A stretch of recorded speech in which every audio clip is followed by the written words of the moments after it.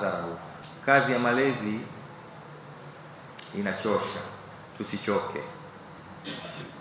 Lazima kila siku utafute mbinu mpya ya kumleta mtoto kule unapotaka wewe, na uangalie umri wake, weakness zake uzijue, hivi amna hivi, unambadilishia unambadilishia ngazi mpaka anakaa unavyotaka wewe. Sio kazi ndogo, ni kazi inayotaka macho masaa yote, hasa kipindi tulichokuwa nacho, ambao watoto wetu muda mrefu wanakuwa na watu wengine kwa uangalizi.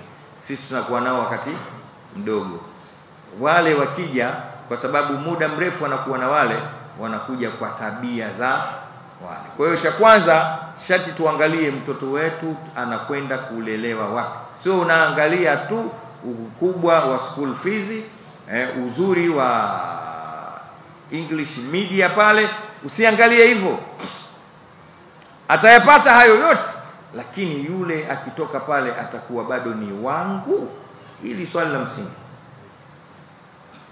Unaweza kumpeleka mtoto akarudi na ilmu kubwa, lakini si hivi. Juzi nilikuwa na kesi nyingi moja katika hizo ni mtu ambaye kamsomesha mtoto wake nje, kasoma mpaka kaelewa nje.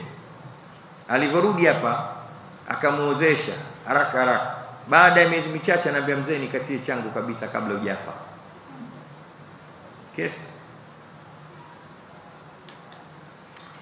Nita, nikatie kabisa nyumba zangu, na nyumba nyingi mzee, una malori una nini, na kuomba mzee, nipe kabisa kwa kabla mambo hayajaribika.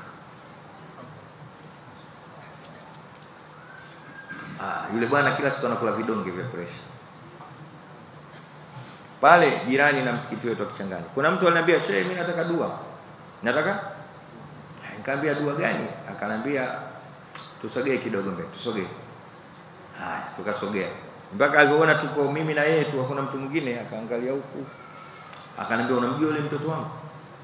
Nikamwambia namjua vizuri tu. Akawa tusogee mbele kidogo. Unajua kwa nini? huyo mtoto hatari. Zile kabali zote zilikuwa anatembea pale mikumi mikumi, yeye ndo ana engineer. Msikiti wetu wa Kichangani kawa kaba wote maimamu, mwisho kammalizia Imam Jafari roba moja,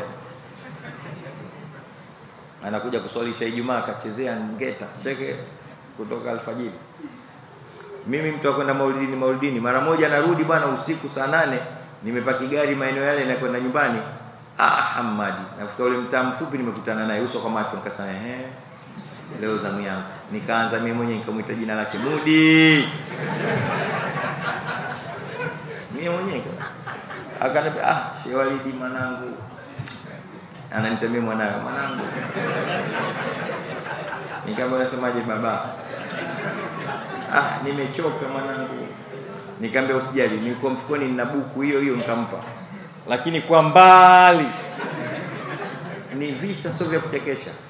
Sasa baba yake ndo huyo ananitaka mimi ni dua, nikaambia naomba dua. Ananambia kwa nini? Sasa yule bwana juzi kanambia baba, ufi tuuze nyumba, baba ufi tuuze nyumba. Sasa na wasiwasi mimi nikichelewa kufa atanisukuma gongo nife yule, ili auze nyumba watoto wetu hivyo mnapigiwa mna, mna hesabu mnakufa lini? yani mwenyewe mpiga hivi wale wa